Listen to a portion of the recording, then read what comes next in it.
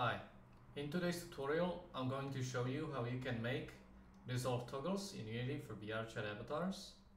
I'm going to use what I think is the most consistent best method. So first we need to set up our materials and for the, for the purpose of this tutorial we're gonna be dissolving and resolving back this dress, this one. So I'm just gonna see there's two materials and what I'm gonna do, you need to apply to all the materials that you wanna dissolve on the mesh. So you go into the, your Poiyomi shader, and close this down, and in the special effects, you're gonna look for dissolve, you know, you enable it, and you have a bunch of things here.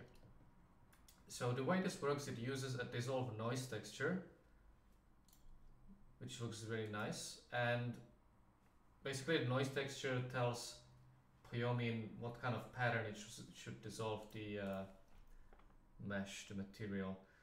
And we look for a simplex, and si noise simplex is a texture that comes with Poiyomi shader on its own, so you can use this. And you change, actually, let's see, okay. So you can test your dissolve by dragging the dissolve alpha right and left. So let's see how that goes. You can see it's doing something, but it instead of disappearing, it turns white.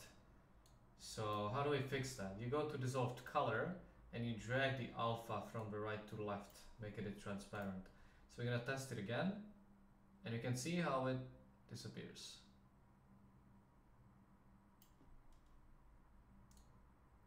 So what we also need to do, we're gonna be animating this. So we right click dissolve alpha and click renamed when locked and that's basically what you need to set up you can also play with the settings, so I'm going to show you. Hold on.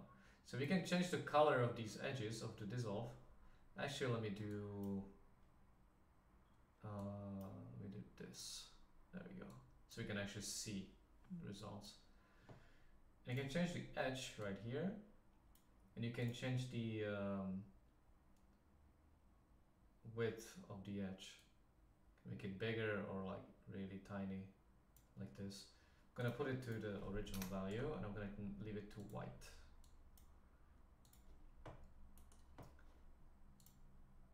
And one important thing, the rendering preset in Poiyomi has to be cutout or transparent. So if it's, for example, opaque, you need to set it to cutout or transparent, otherwise it wouldn't dissolve. And don't forget to set the dissolve for your other materials on the mesh. So I'm gonna do it real quick actually very quick. And there we go, that's all I need to know. So now we're going to be making animations and I'm going to be making four animations. One off, one on, one transition basically from off to on and one from on to off transition animation. So I'm going to create new animation and I made a folder, Dissolve Toggles tutorial, so I'm going to start here. We'll call it dress on. And we're gonna be doing multiple things. So the first thing we're gonna do is we're gonna turn on the whole mesh. And actually first I need to lock my material in.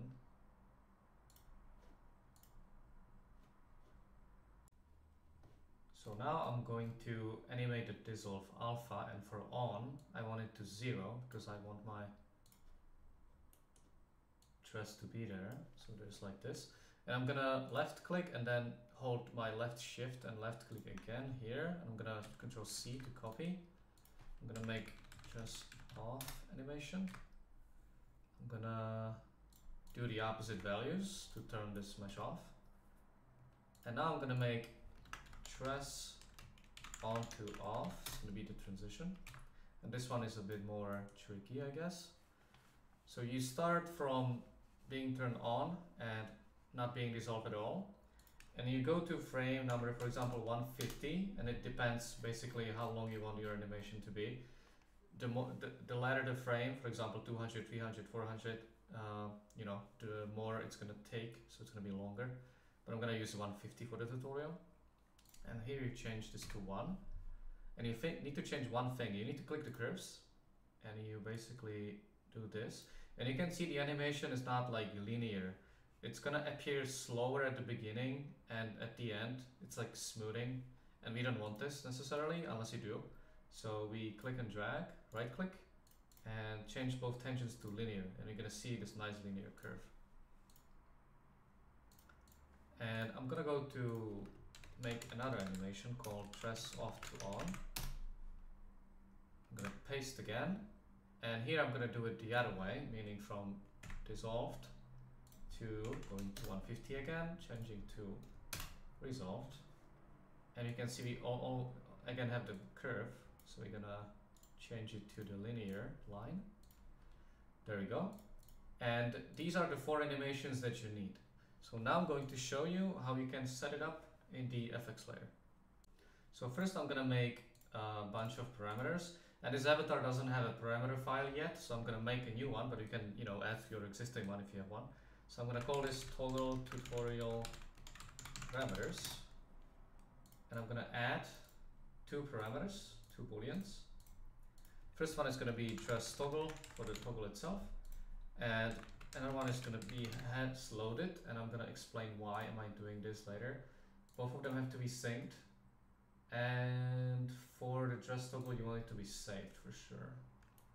That's your preference really. Uh, I'm gonna make a little menu. I'm gonna call toggle tutorial menu. I'm gonna add the control to toggle, call it just toggle. And I need to put these into my avatars menu and parameter slots. So I'm gonna drag this. Oh, that's the menu and that's the parameters. Now I can select my avatar in this little list and change to dress toggle. And now for the FX layer. So I'm gonna create an empty animator controller. I'm gonna call it uh, dress tutorial FX.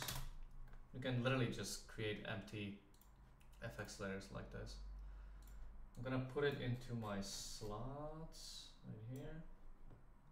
And now I'm gonna add the parameters. So first of all, dress toggle, and another one is has loaded. And I'm gonna add another one that's called is local. And this parameter is um, on every avatar by default. Uh, VRChat uses it. VRChat puts it there for you. So you don't have to clarify it or put it here in the parameters at all. But you can use this parameter in uh, the FX layer or, or you know in all these layers actually. So that's a piece of useful information. So now we're going to go to our FX layer and create a new layer called has loaded. Gonna make the weight one. And we're gonna zoom in a little bit and create three states. I'm gonna make another one, there we go. Now we right click and connect them, make transition this way and this way.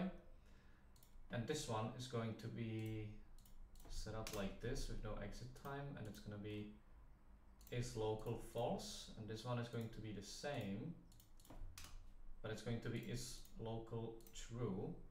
And then we click this and we add behavior called VRC avatar parameter driver. And we add one. And we set has loaded to true and this layer, you only need it once and it's gonna work for all the toggles you're gonna add. You don't have to do this more than once on, in, on one FX layer. And now we're going to actually create our dress toggle layer when we, where we're going to be toggling uh, the dress. So this one, we create an empty state right here. Then we get our four animations and we drag it here. You can put the exit like somewhere. There we go. Um, I just put off here, I put on down here, and then the transitions like in between, like this. And you connect the transitions in this way.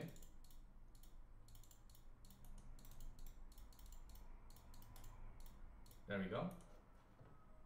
So now we have to set up these. So we don't do exit time and we change the condition to dress toggle false meaning it's going to be basically when the avatar loads it goes here, and then it decides, well, it sees if the avatar is off or on, and it goes to off or on appropriately for the first time.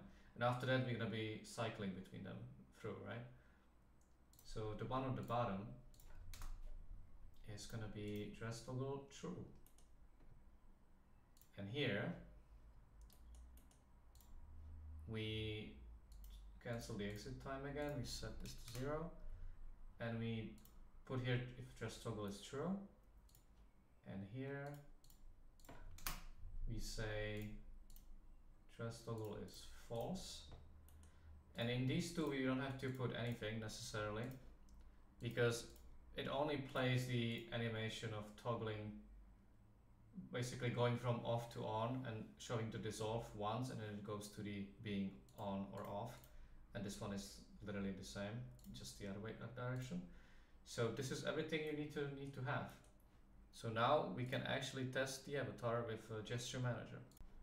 So add gesture manager to your scene and link in the description if you don't have it the gesture manager is um, basically emulates VRChat in Unity, so we can actually test these things without uploading, which saves a lot of time. And I actually have it twice here, so I'm just gonna leave it once. And you go into play mode.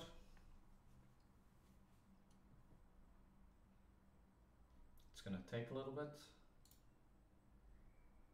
Go scene and go to gesture manager and you click and drag the avatar you want to be testing. And there we go. Now let's see, let me toggle the dress on and you can see it toggles. Toggle it off, but it's quite fast. It's actually very fast. So how do we do that? How do we how do we fix this? So you go into your um, transition animations and instead of 150 you can drag it to for example here which makes it 300 like twice as slow I'm gonna do it here as well. Yeah, that's good enough. It doesn't have to be like literally the same. Nobody's gonna notice knows one frame, right? And you go into play mode again, and uh, you test it again until you're satisfied with the results. And you can basically keep adding toggles um, as many as you want, really. Okay, let's see. Oh, that's that's a bit better. Yeah.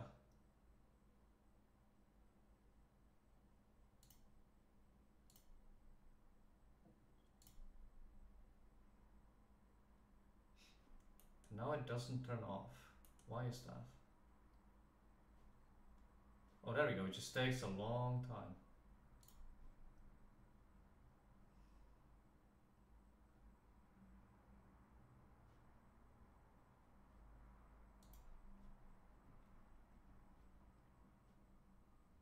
So instead, what we're gonna do is we're gonna basically see what value makes this actually turn off.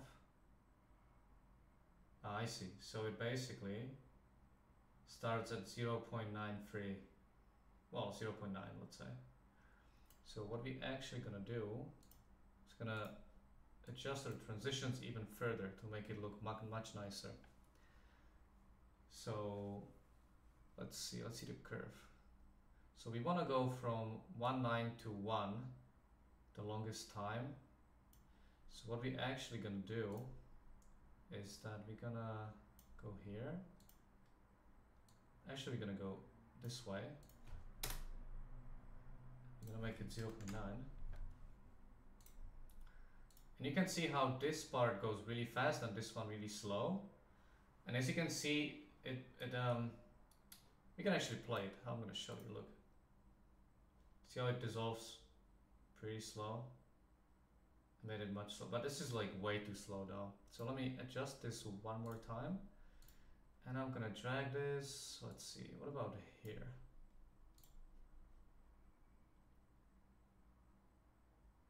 Yeah, it's still way too slow. So I'm gonna do it, drag it right here. Test it again. Yeah, this is quite nice. I'm happy with this.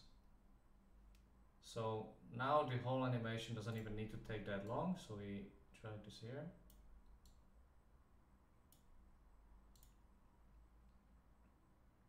There we go. And we're gonna make the same thing basically um, in the other one.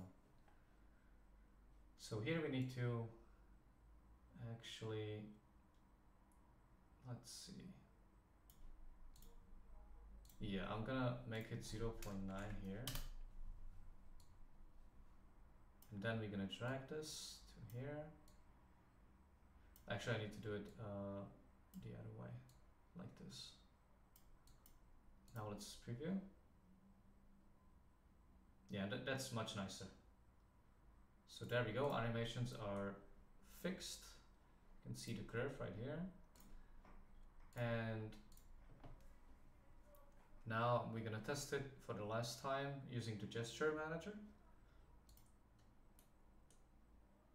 And by the way, my dress uses uh, Unity cloth, and sometimes it gets buggy when it goes through uh, uh, bones and colliders, so that's what happened here.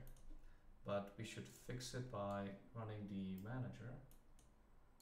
Okay, let's see. Yeah, that's much nicer, and the dress is fixed too.